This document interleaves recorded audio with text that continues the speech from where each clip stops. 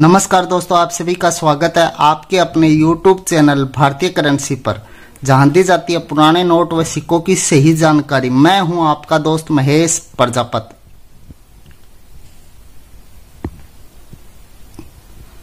दोस्तों, आज इस वीडियो में हम बात करने वाले हैं पाँच पैसे के कीमती सिक्कों के बारे में।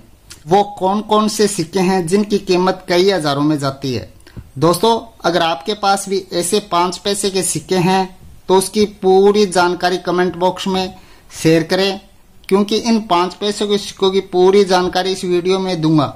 इस वीडियो में बस उन्हीं सिक्कों की बात होगी जिनकी कीमत सौ रुपये से या फिर सौ रुपये से ज़्यादा है। इसलिए जल्दी से वीडियो को लाइक कर दीजिए चैनल पर पहली बार आए हैं तो नीचे लाल रंग के बटन को दबाकर सब्सक्राइब करें और साथ में बेल बटन को भी दबाएँ, ताकि आने वाली वीडियो नोटिफिकेशन आपको मिल सके और सबसे पहले आप हमारा वीडियो देख सकें। अगर आपने हमारे चैनल को पहले से ही सब्सक्राइब कर रखा है तो आपका बहुत बहुत धन्यवाद। दोस्तों, ये पाँच पैसे की शुरुआत उन्नीस सौ सत्तावन से हुई थी, जब भारत में डेसिमल सिस्टम लागू किया गया था। उन्नीस सौ सत्तावन से पहले आना सीरीज़ चलती थी। ये पाँच पैसे के सिक्के उन्नीस सौ सत्तावन से लेकर उन्नीस सौ चौरानवे तक जारी किए गए थे, और कई भागों में इन सिक्कों को बनाया गया था।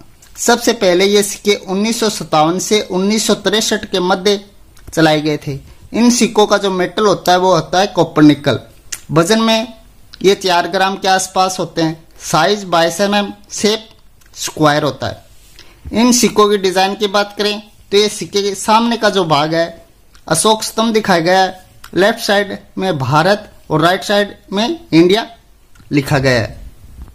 इन सिक्कों की रिवर्स साइड की बात करें तो रिवर्स साइड हिंदी में टॉप में लिखा गया है। रुपये का बीसवां भाग और बीच में अंकों में पाँच लिखा गया है और नीचे नए पैसे लिखा गया है और ईयर दिखाया गया और मिंट मार्क दिखाया गया उन्नीस सौ सत्तावन से उन्नीस के ये सिक्के भारत के दो मिनटों में बने थे, बॉम्बे मिंट और कोलकाता मिंट इन सिक्कों की कीमत की बात करें तो इन सिक्कों की कीमत पाँच रुपये से लेकर पच्चीस रुपये तक जाती है। अब बात करते हैं उन्नीस से लेकर उन्नीस सौ छियासठ के मध्य बने सिक्कों की। इन सिक्कों का मेटल वज़न वही है जो पहले वाले सिक्के का था। रिवर्स साइड में छोटा सा बदलाव किया गया था।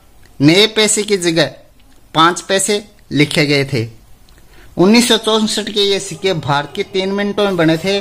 बॉम्बे, कलकत्ता और हैदराबाद मिंट जिसमें हैदराबाद मिंट का सिक्का रेयर है।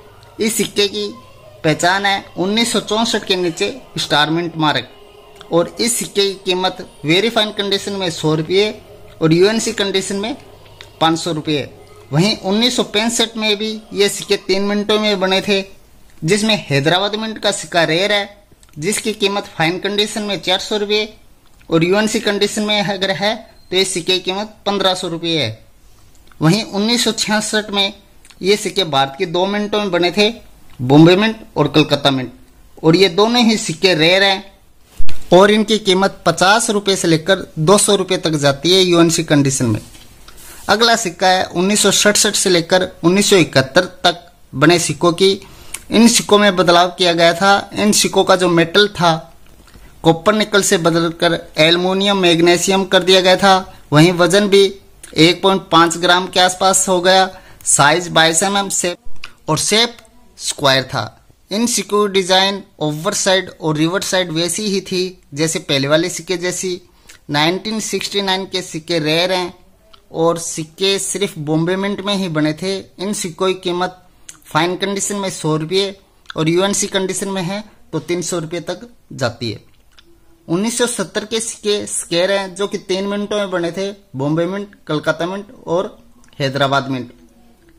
जिनकी कीमत पचास रुपये से लेकर सौ रुपये तक जाती है।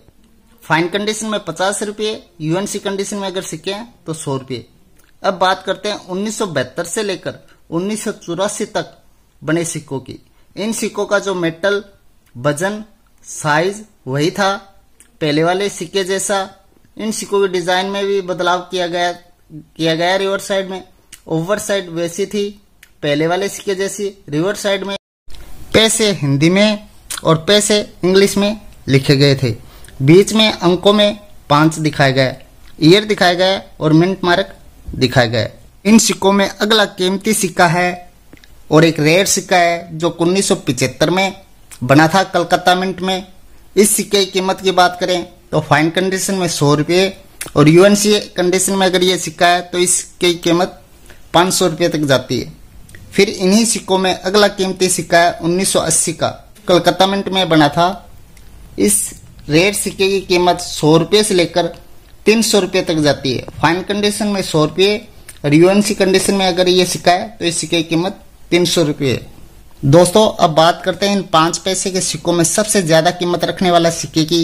यह सिक्का उन्नीस सौ चौरासी में बना था। दोस्तों, उन्नीस सौ चौरासी में दो तरीके के सिक्के बने थे। एक सिक्का कॉमन है, वहीं दूसरा सिक्का इन सिक्कों में रेयर है। दोस्तों, आप अपनी स्क्रीन पर देख सकते हैं, इन दोनों सिक्कों में रेड सिक्के की पहचान है।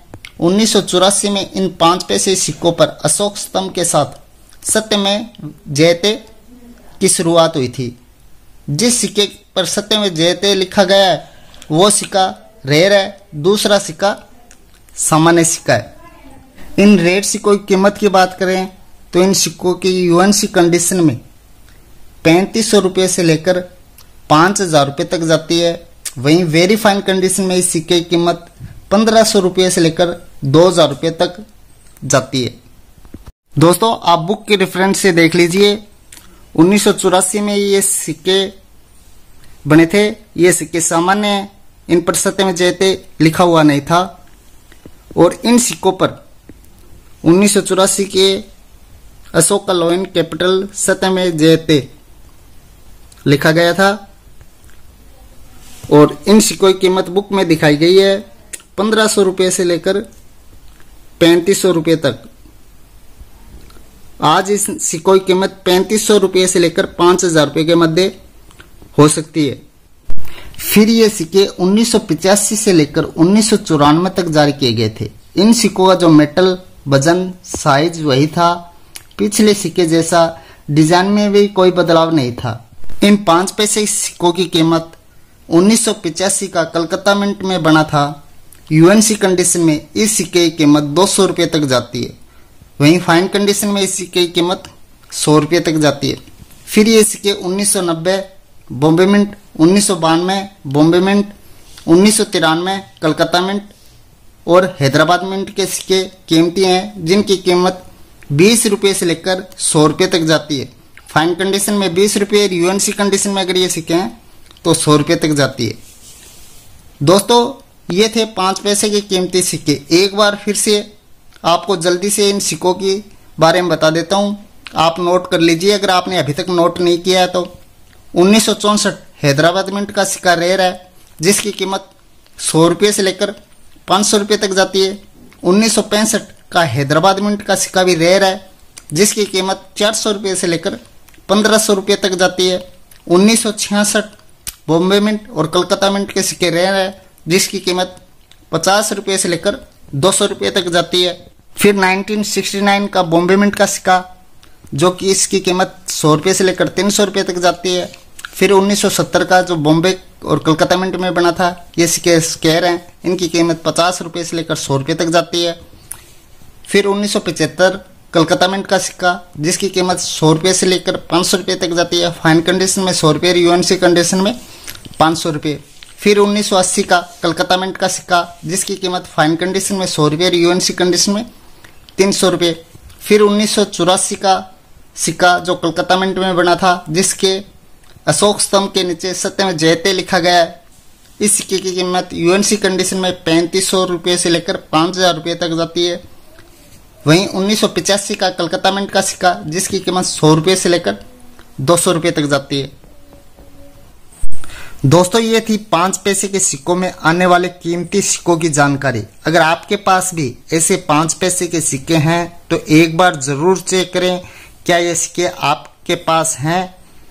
अगर नहीं है तो ऐसे रेयर सिक्कों को तलाशने की कोशिश करें।